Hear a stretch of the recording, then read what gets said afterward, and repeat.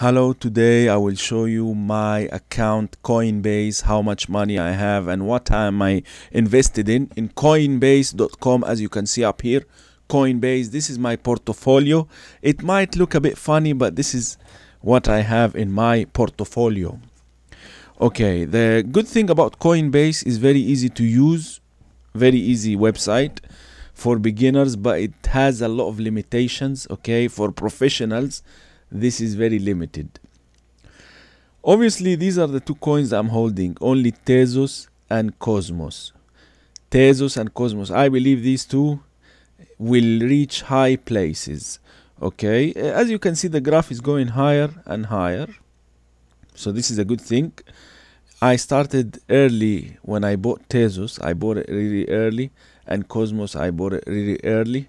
When was the last uh, descend when everything went down one week ago.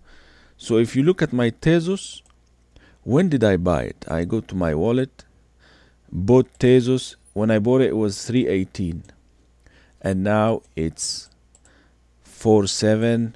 Yeah, almost one pound, which is not bad.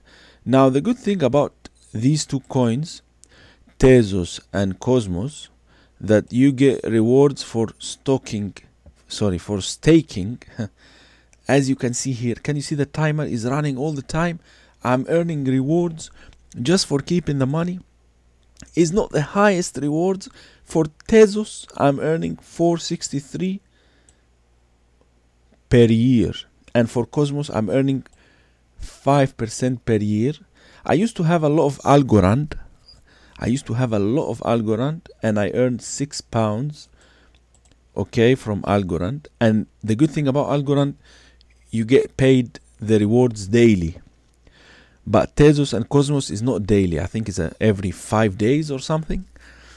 But Algor Algorand if we go to prices control find Algorand check this out. I used to get paid daily Algorand reward. 29 April Algorand 29 oh yeah can you see al reward reward reward reward?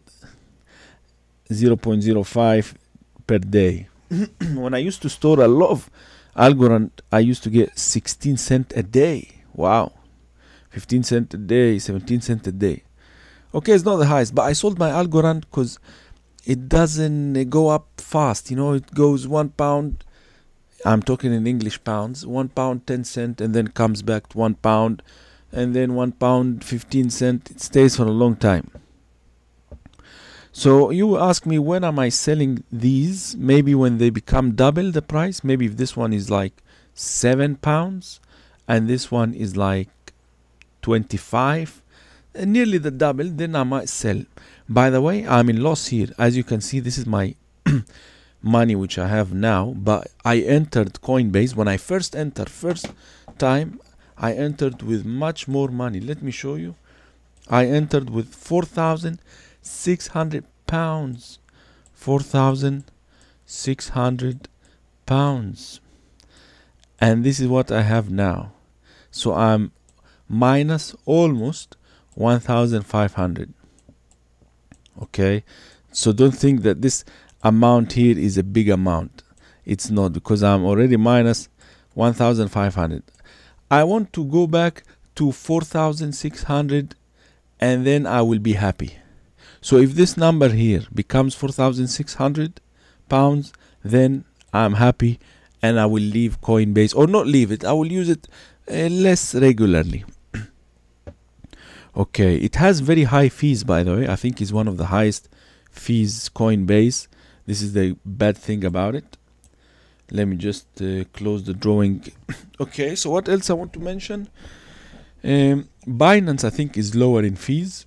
So this is a good thing about binance. And i have some money here as stable money 667 in british pound. Just in case a good opportunity comes up i might spend this money make some extras. I'm just trying to reach my 4600 pounds guys.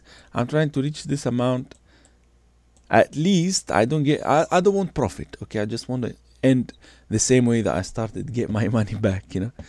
so this is my portfolio in Coinbase. I hope you like this episode. Hit the like button, subscribe, and see you later.